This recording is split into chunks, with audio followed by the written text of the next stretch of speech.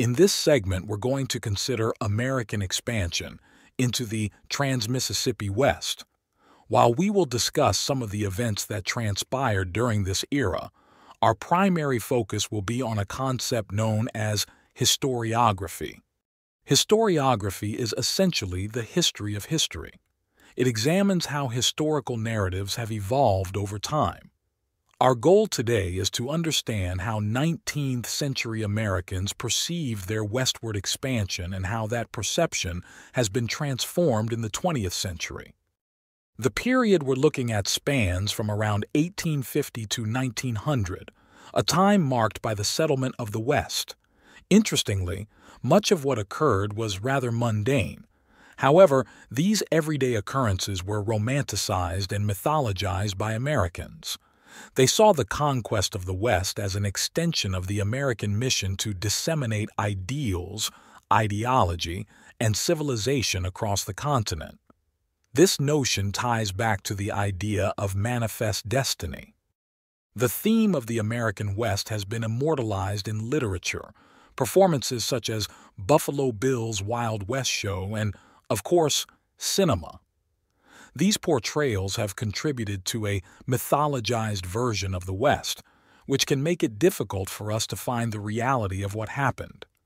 One of the most enduring symbols of the West is the cowboy an image that has come to represent the United States both domestically and internationally.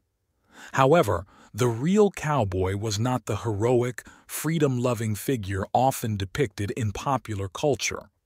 In reality, cowboys were young men tasked with the arduous job of herding cattle. Their work was essential but grueling, akin to the manual labor of construction workers or truck drivers today. To illustrate the dichotomy of the cowboy's image, let's consider a portrayal from the LA Times dating back to 2003. This depiction emerged amid debates over the United States' proposed invasion of Iraq. Americans generally were enthusiastic about getting Saddam, encouraged by the national media, but some of our allies, particularly the French, were less so. This disagreement led to a temporary rebranding of French fries as freedom fries in some American circles. In this portrayal, we see two contrasting images.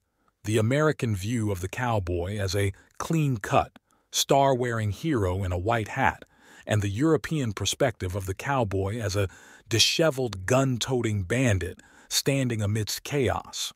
Both images, however, underscore the cowboy as an emblematic figure of America, interpreted either as a hero or a villain. At the center of this imagery is President George W. Bush, who was advocating for the invasion of Iraq at the time.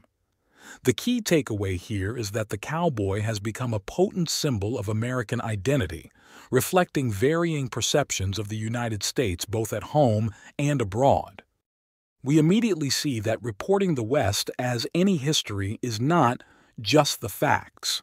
There are facts and there is perception, and the historian's task is to consider the facts in light of the perceptions to come to a conclusion relevant to us. Please proceed to answer the questions in the assignment on Canvas.